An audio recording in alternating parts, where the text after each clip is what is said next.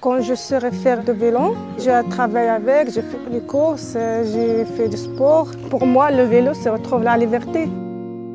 Salut Saviez-vous qu'en France, un adulte sur cinq n'est pas à l'aise ou ne sait pas du tout faire de vélo? Alors forcément, mais à vélo, c'est le bon moment pour apprendre ou réapprendre à pédaler. Cette fois, je suis venu jusqu'à Dijon pour vous emmener à la découverte d'une vélo-école.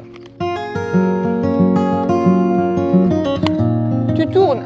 Allez, on y va. Quand tu reviens, tu fais demi-tour et tu reviens là. Super, Jules Donc quand tu es à droite, ça freine derrière. Et sur la selle, bien positionné et on pousse. Je suis Francine, bénévole du Centre social La Passerelle de Quetigny. On a remarqué qu'il y a beaucoup de gens qui ne savaient pas faire de vélo. J'ai 37 ans. Je n'ai jamais appris à faire de vélo. C'est la première fois pour moi.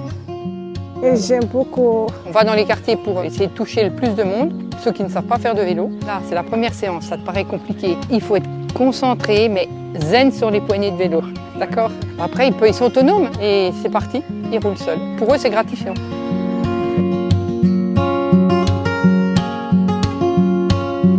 on vient de s'installer dans un nouveau quartier où on va mettre en place notre atelier de co-réparation. Et là, les gens commencent à arriver avec différents types de réparations à faire. Alors crevaison, euh, gonflage, dérailleurs, souvent des familles avec des enfants.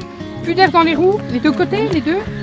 Ça aide les enfants. Les enfants, tout le temps, ils voient la voiture, ils sont, ils sont contents. Ils savent que voilà, ils sont là pour les aider. Et puis voilà, c'est chouette. Il y a aussi des gens qui ont besoin de connaître le fonctionnement du vélo parce qu'ils l'utilisent euh, tous les jours pour aller faire des courses, pour aller travailler, pour se balader. On est tous des retraités. On veut que les gens fassent du vélo aussi pour qu'ils puissent se déplacer par leurs propres moyens. Et bien maintenant, je sais réparer une crevaison. Et vous alors qui regardez cette vidéo, est-ce que vous savez entretenir vous-même votre vélo, réparer une crevaison, régler des freins ou un dérailleur? Je suis curieux d'en savoir plus, alors dites-moi tout ça en commentaire. Quant à moi, je reprends mon périple direction Nîmes où des collégiens challenge leur directeur à vélo. Alors à très vite sur les vélos. Allez, salut Salut Bye bye Allez, allez, c'est parti Nestlé. On est parti, c'est bien. Parfait. Et ben voilà